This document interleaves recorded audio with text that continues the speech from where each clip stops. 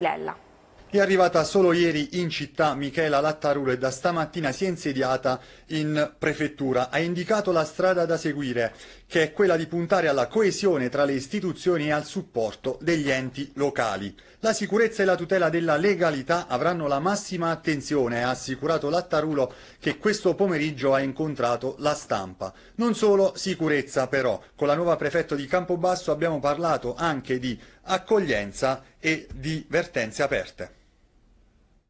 Dottoressa Lattarulo, quali le priorità? Sono tanti tavoli aperti, in primis quello della sanità. Allora, guardi, io eh, ho avviato oggi i primi incontri istituzionali che continueranno nei prossimi giorni. Questi incontri eh, mi servono per avere il quadro complessivo della situazione del territorio e per eh, quindi venire a conoscenza dei problemi e stabilire le priorità. Eh, quindi eh, sicuramente in questo contesto eh, affronterò anche il tema della, della sanità. Il Molise è una terra che si sta spopolando, in questo senso l'accoglienza può essere anche un'arma per la lotta allo spopolamento?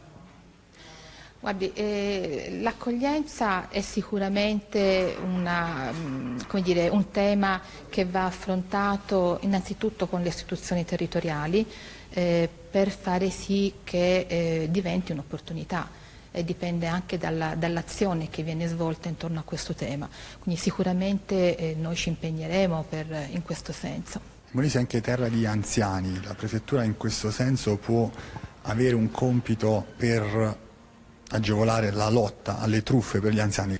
La prefettura ha già fatto molto su questo tema che è sicuramente un tema sensibile eh, sul quale l'impegno eh, della prefettura continuerà eh, nella direzione appunto, del supporto e del sostegno con iniziative a tutto campo.